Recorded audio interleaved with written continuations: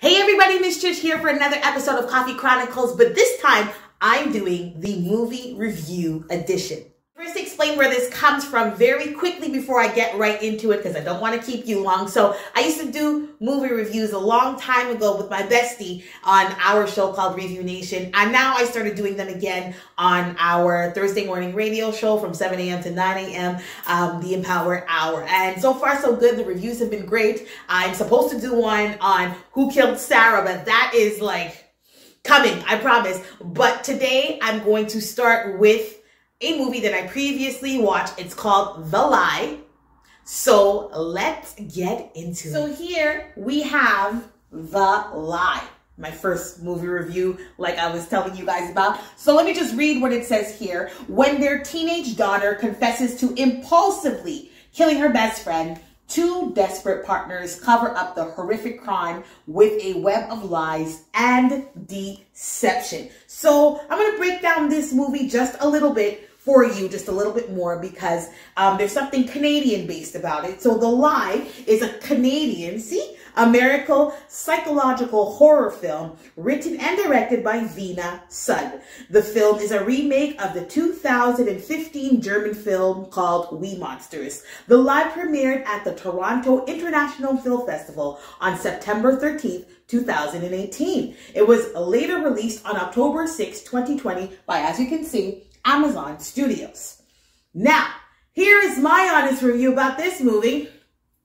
I'm going to be honest and say that if you haven't, if you're having, my West Indian is going to come in. I'm telling you guys, I can't, I can't deny it for this one.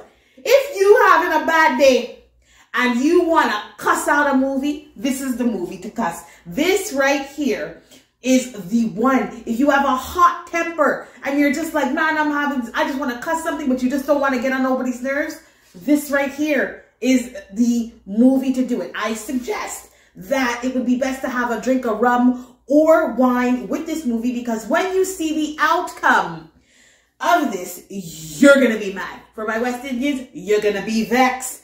And, and I promise you, you guys are going to want to slap all of the characters, and that's universal, any nationality that you are. Now, this movie, it totally makes you appreciate growing up in the 80s if you did, and actually not having social media to dabble in. So, if you have high blood pressure or a short fuse, I'm going to tell you that this movie is a Dawn Penn. No, no, no. But then you can watch it at your own discretion. But you know what? Let me know if you do watch it and what you think. Okay, so that was this episode of Coffee Chronicles movie review. Told you I'm trying to expand and do different things. But let me know if you end up watching The Lie. Let me know if you've watched it.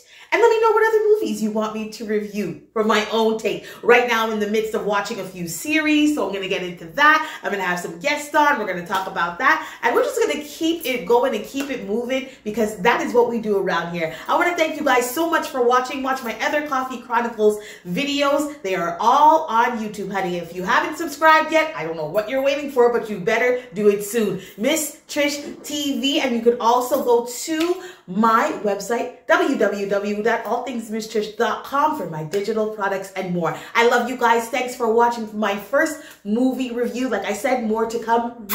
Much love to you. And I will see you guys again, again, again very soon.